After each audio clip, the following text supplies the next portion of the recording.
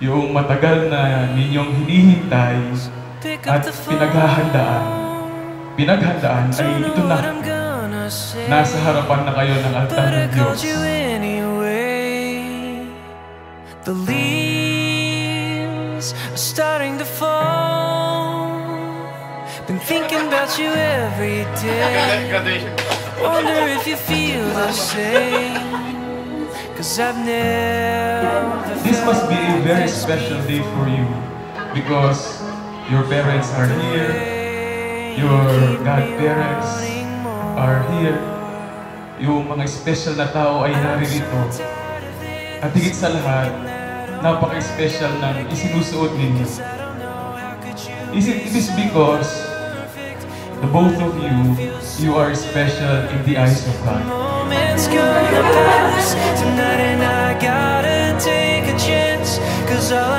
How could you be so perfect Whatever it takes you're worth it Wow, thank you. To rise Wow. Wow, ang ganda. Thank you, babe. Alam ko matagal mo nang gusto ito, kaya ito na ang inihintay kong araw para ma-surprise ka. I love you. See you later. Thank you so much, babe. Parang tinapatan mo yung ano ah. Yung gotta tell ko sa'yo.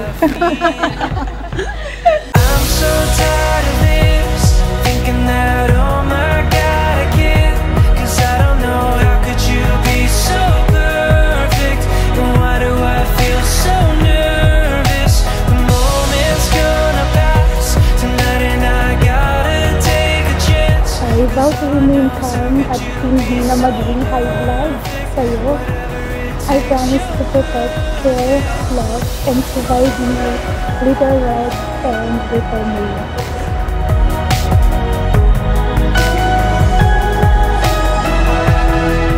Redmond, do you take May here present for your lawful wife according to the right of our Holy Mother, the Church? Yes, I do. I wasn't aware that time that God has already sent the right man for me. Thank you for standing by and waiting for the right time for us to be together.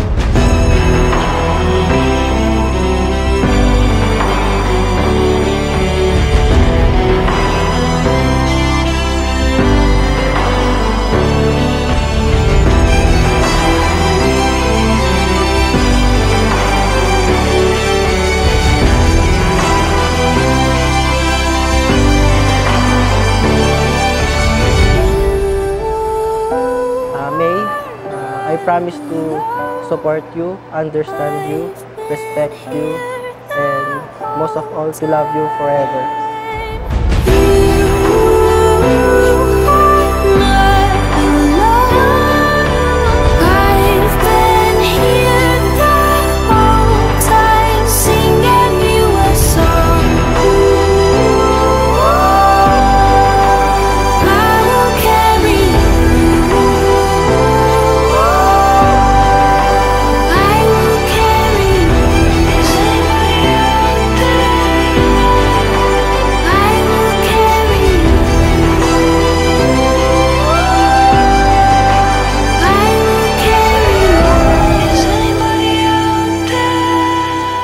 May now kiss your wife for the first time